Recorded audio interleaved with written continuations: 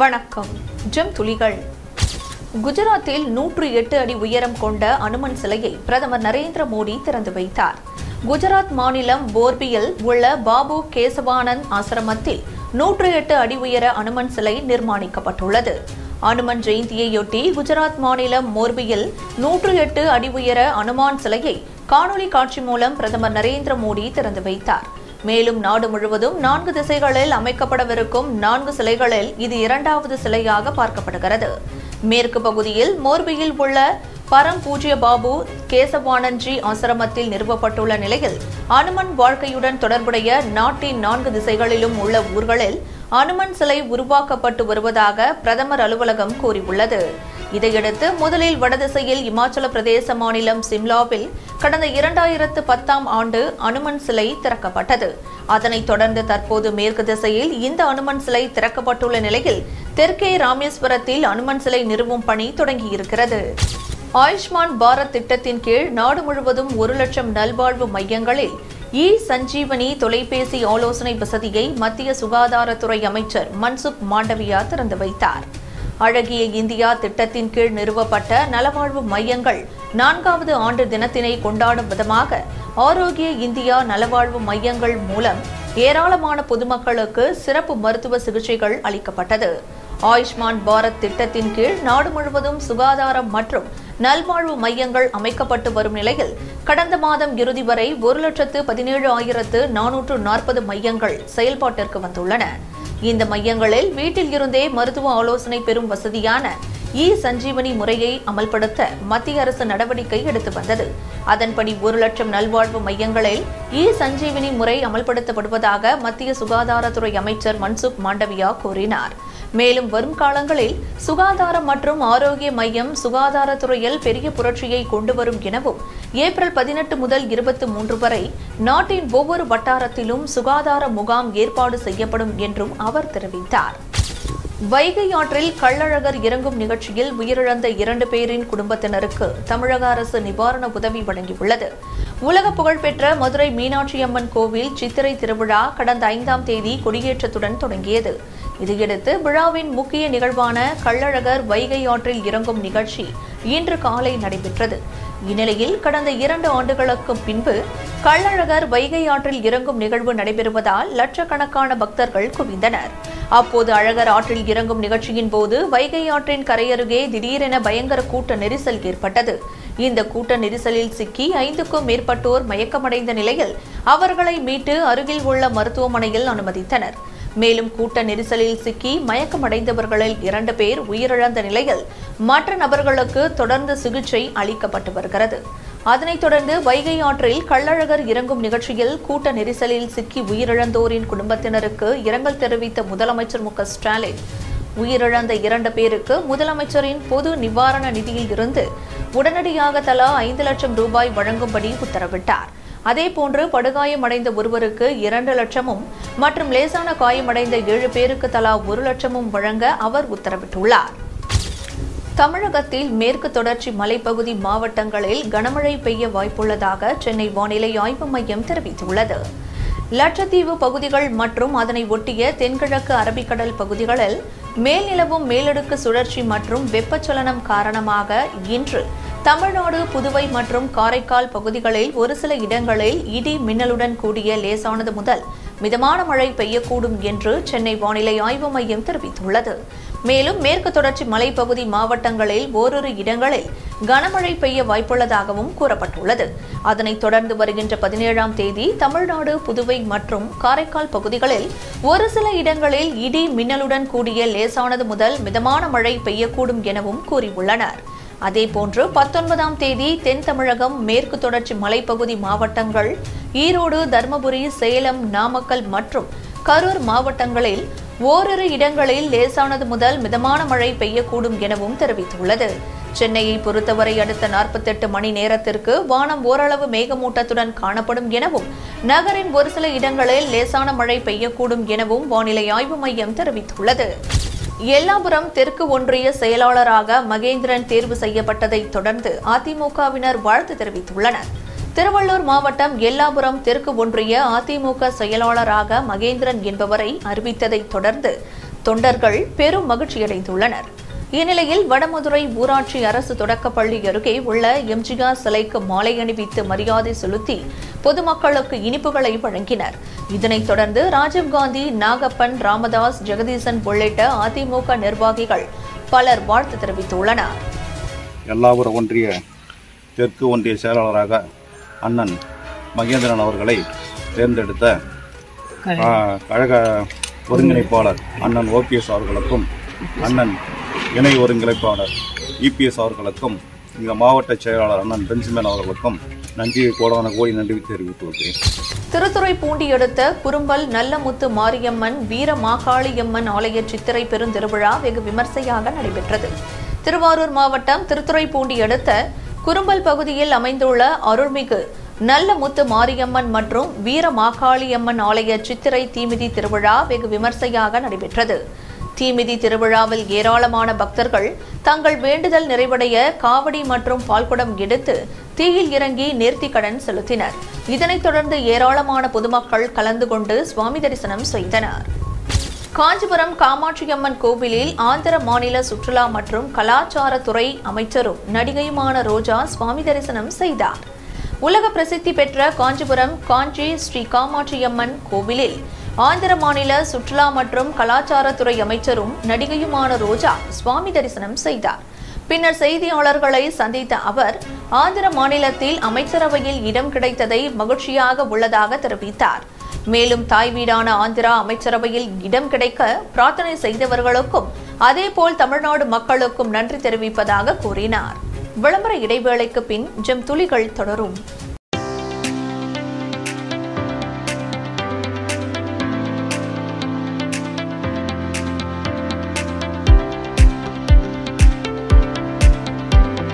Akshaya catering service. உயர்தரமான முறையில் சமையல் செய்து மக்களின் நன்மதிப்பையும் பெயர் ஆதரவையும் பெற்று வரும் அக்ஷயா கேட்டரிங் சர்வீஸ். திருமணம் சீமந்தம் கிரகப்பிரவேசம் மஞ்சள் நீராட்டு விழா பிறந்தநாள் விழா காதணி விழா போன்ற உங்கள் இல்லத்தில் நடைபெறும் அனைத்து சுப நிகழ்ச்சிகளுக்கும் சுவையான முறையில் டிஃபன் மற்றும் சாப்பாடு வகைகள் நியாயமான விலையில் உங்கள் உறவினர்கள் மற்றும் நண்பர்கள் பாராட்டும் வகையில் தயார் செய்து உங்கள் இல்லத்திற்கு வந்து சர்வீஸ் செய்து தருகிறோம். உங்கள் ஆதரவை நாடும் அக்ஷயா கேட்டரிங் சர்வீஸ்.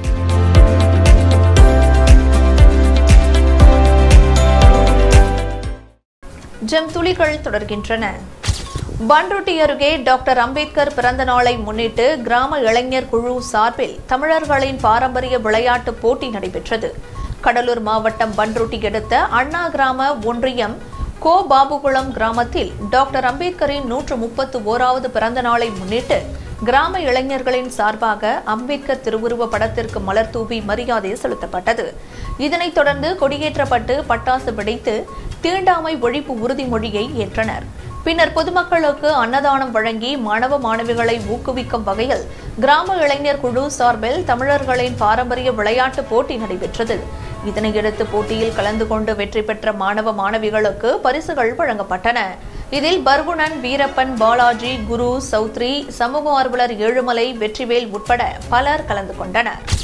கள்ளக்குறிச்சியில் டாக்டர் அம்பேத்கரின் பிறந்த நாளை முன்னிட்டு அனைத்து கட்சியினர் மாலை அணிவித்து மரியாதை செலுத்தினர்.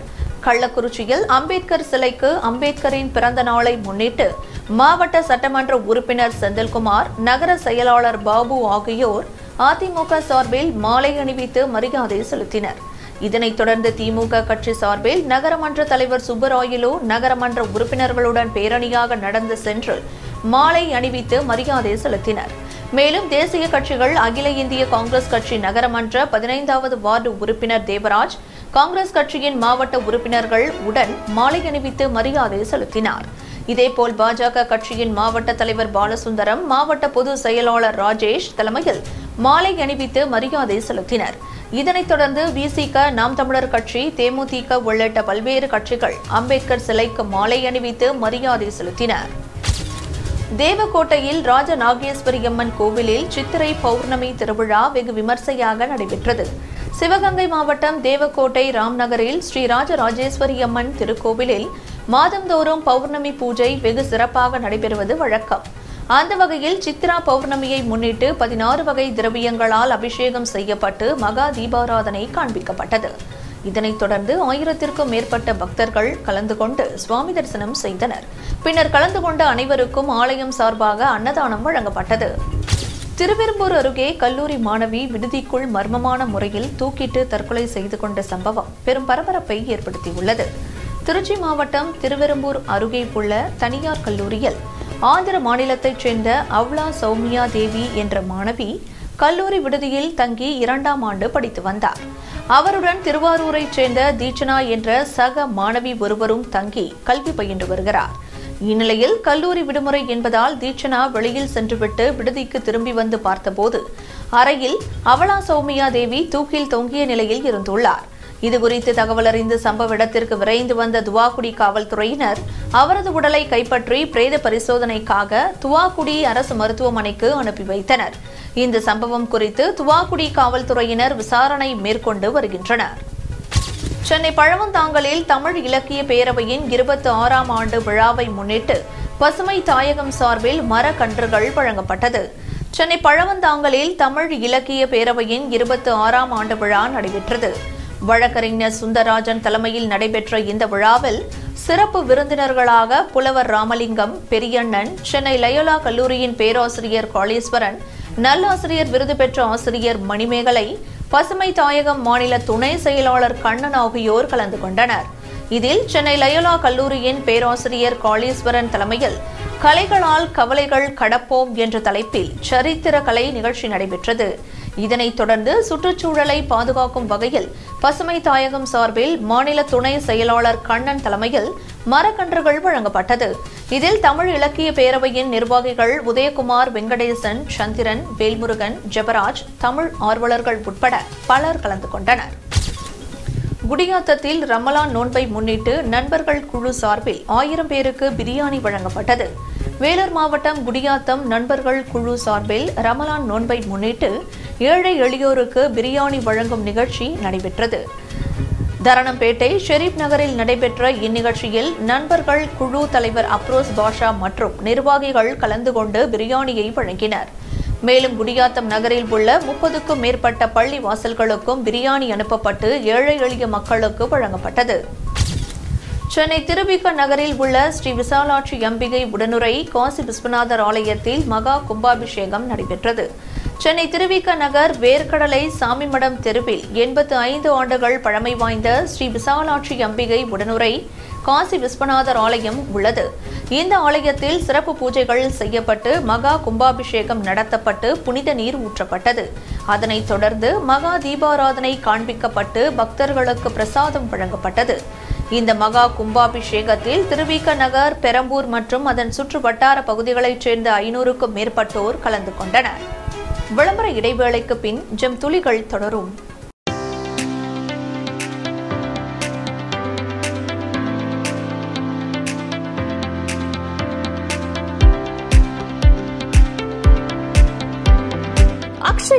கேட்டரிங் சர்வீஸ் உயர்தரமான முறையில் சமையல் செய்து மக்களின் நன்மதிப்பையும் பெயர் ஆதரவையும் பெற்று வரும் அக்ஷயா கேட்டரிங் சர்வீஸ் திருமணம் சீமந்தம் கிரகப்பிரவேசம் மஞ்சள் நீராட்டு விழா பிறந்தநாள் விழா காதணி விழா போன்ற உங்கள் இல்லத்தில் நடைபெறும் அனைத்து சுப நிகழ்ச்சிகளுக்கும் சுவையான முறையில் டிஃபன் மற்றும் சாப்பாடு வகைகள் நியாயமான விலையில் உங்கள் உறவினர்கள் மற்றும் நண்பர்கள் பாராட்டும் வகையில் தயார் செய்து உங்கள் இல்லத்திற்கு வந்து சர்வீஸ் செய்து தருகிறோம்.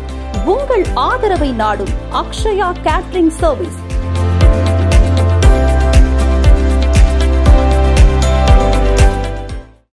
ஜெம் துளிகள் தொடர்கின்றன. ஆவடி அருகே திருமுல்லை வாயிலில் தண்ணீர் தொட்டியை சுத்தம் செய்யும் போது விஷவாயு தாக்கியதில் மூன்று பேர் பரிதாபமாக உயிரிழந்தனர். ஆவடியை அடுத்த திருமுல்லை வாயிலில் சீரிசக்தி நகரைச் சேர்ந்தவர் பிரேம்குமார். இவரது வீட்டில் உள்ள தண்ணீர் தொட்டி நீண்ட நாட்களாக பயன்படுத்தப்படாமல் இருந்து வந்துள்ளது.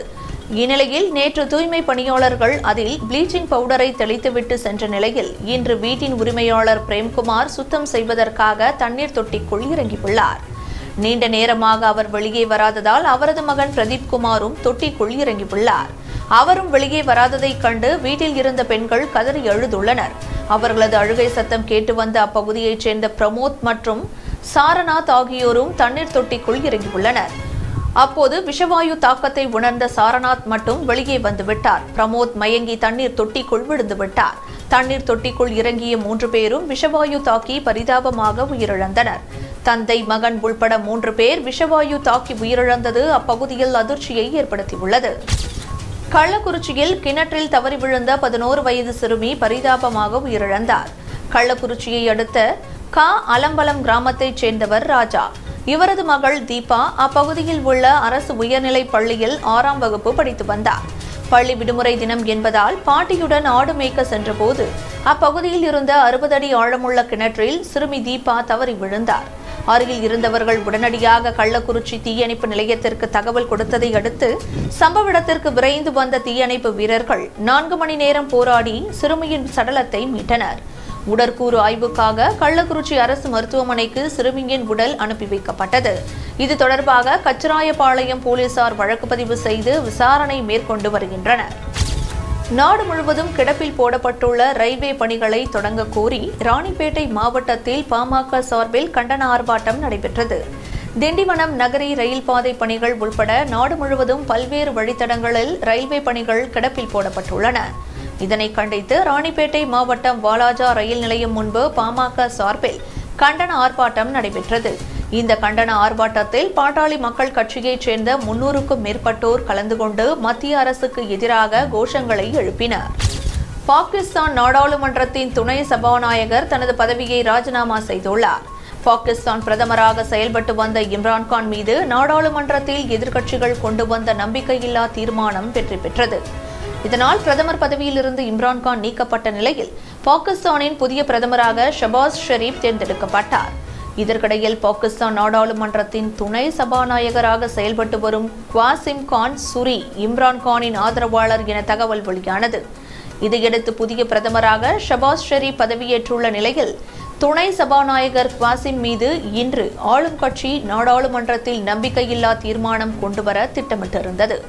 இந்நிலையில் தன் மீதான நம்பிக்கையில்லா தீர்மானம் தாக்கல் செய்யப்படலாம் என்ற நிலையில் நாடாளுமன்ற துணை சபாநாயகர் பதவியை குவாசிம் கான் சுரி ராஜினாமா செய்துள்ளார். மேலும் அவரது ராஜினாமாவை நாடாளுமன்ற செயலாளர் ஏற்றுக்கொண்டார். இதனைத் தொடர்ந்து பாகிஸ்தான் நாடாளுமன்றத்திற்கு புதிய துணை சபாநாயகரை தேர்ந்தெடுக்கும் பணி விரைவில் நடைபெறலாம் என எதிர்பார்க்கப்படுகிறது. உக்ரைனுக்கு ஆயுதங்களை வழங்கும் அமெரிக்காவின் செயல் எரியும் நெருப்பில் எண்ணெய் ஊற்றுவது போன்றது என ரஷ்யா தெரிவித்துள்ளது. உக்ரைன் மீது ரஷ்யா ஐம்பத்தி இரண்டாவது நாளாக போர் தொடுத்து வரும் நிலையில் போரில் உக்ரைனின் தலைநகர் கீவ் மரியுபோல் கார்கிவ் உள்ளிட்ட பல்வேறு நகரங்கள் நிலைகுலைந்து போயின. இதில் பொதுமக்கள் இரு நாட்டு படையினர் என ஆயிரக்கணக்கானோர் உயிரிழந்துள்ளனர். இந்த போரில் உக்ரைனுக்கு அமெரிக்கா மேற்கத்திய நாடுகள் ராணுவ உதவி செய்து வரும் நிலையில் கோடிக்கணக்கான ரூபாய் மதிப்புள்ள அதிநவீன ஆயுதங்கள் போர் தளவாடங்களை அமெரிக்கா உக்ரைனுக்கு வழங்கி வருகிறது. இந்நிலையில் உக்ரைனுக்கு ஆயுதங்களை வழங்கும் செயல் எரியும் நெருப்பில் எண்ணெய் ஊற்றுவது போன்றது என அமெரிக்காவுக்கு ரஷ்யா எச்சரிக்கை விடுத்துள்ளது. இது தொடர்பாக அமெரிக்கா அரசுக்கு ரஷ்ய அரசு தூதரகம் மூலம் வெளியிட்டுள்ள அறிக்கையில் உக்ரைன் விவகாரத்தில் ஜோ பைடன் தலைமையிலான அமெரிக்க அரசு எரியும் நெருப்பில் எண்ணெய் ஊற்றும் செயலில் ஈடுபடுகிறது என கூறியுள்ளது. மேலும் உக்ரைனுக்கு மிகவும் அதிநவீன ஆயுதங்களை தொடர்ந்து வழங்கினால் கணிக்க முடியாத விளைவுகள் ஏற்படும் என முன்னெச்சரிக்கை விடுக்கப்பட்டுள்ளது. இலங்கையில் நிலவும் பொருளாதார நெருக்கடி காரணமாக கொழும்பு பங்குச்சந்தை தற்காலிகமாக மூடப்பட்டுள்ளது. இலங்கையில் நிலவும் பொருளாதார நெருக்கடி நாளுக்கு நாள் மோசமாகி வரும் நிலையில் அத்தியாவசிய பொருட்களின் விலை உயர்வும் தட்டுப்பாடும் மக்களை வெகுவாக பாதித்துள்ளது. இதனால் நாடு முழுவதும் அரசுக்கு எதிராக மக்கள் தொடர் போராட்டங்களில் ஈடுபட்டு வருகின்றனர். இந்த நிலையில் இலங்கையின் பொருளாதார நெருக்கடியின் காரணமாக கொழும்பு பங்குச்சந்தை தற்காலிகமாக மூடப்பட உள்ளதாக அறிவிக்கப்பட்டுள்ளது. அதன்படி ஏப்ரல் பதினெட்டு முதல் இருபத்தி இரண்டாம் தேதி வரை கொழும்பு பங்குச்சந்தை மூடப்படுவதாக பிணையங்கள் மற்றும் பரிவர்த்தனை ஆணைக்குழு அறிவித்துள்ளது. இத்துடன் ஜெம் துளிகள் நிறைவடைகின்றன. மீண்டும் துளிகளை காண இணைந்திருங்கள் ஜெம் தொலைக்காட்சியுடன். நன்றி வணக்கம்.